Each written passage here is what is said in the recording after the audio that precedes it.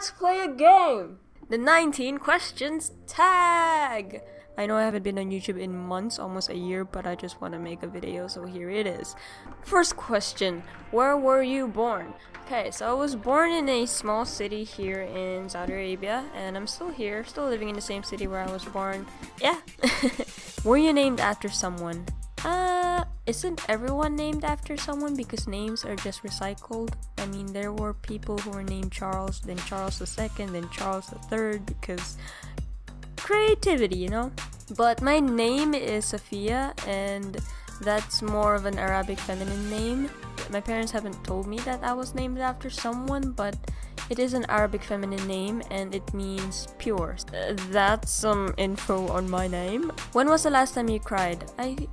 Hmm, probably like nearly almost a week ago. Less than a week ago, but somewhere around that. I cried because I was really tired and like emotions.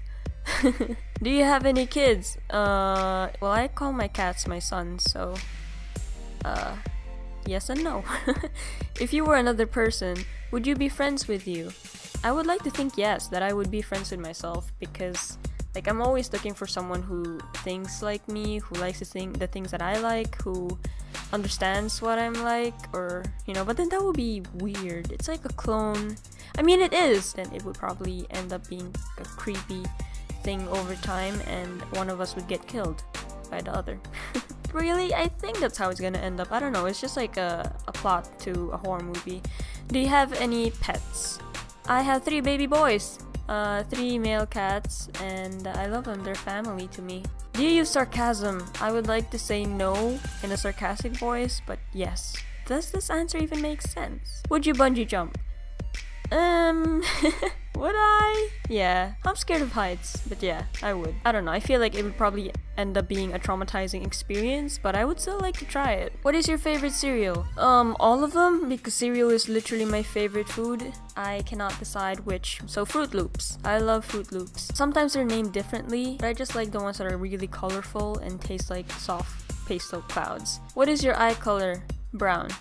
Like, dark brown, like the most common eye color, like scary movies or happy endings. I like watching scary movies, but I have a tough time. I'm like, my heart is like, no, but my mind is like, yes. So I would just go for happy endings. Do you have any brothers or sisters? I have two siblings. I am the youngest. Um, my brother is older than me, then my sister is older than me and my brother. Next question. Computer or TV? Ah, uh, computer.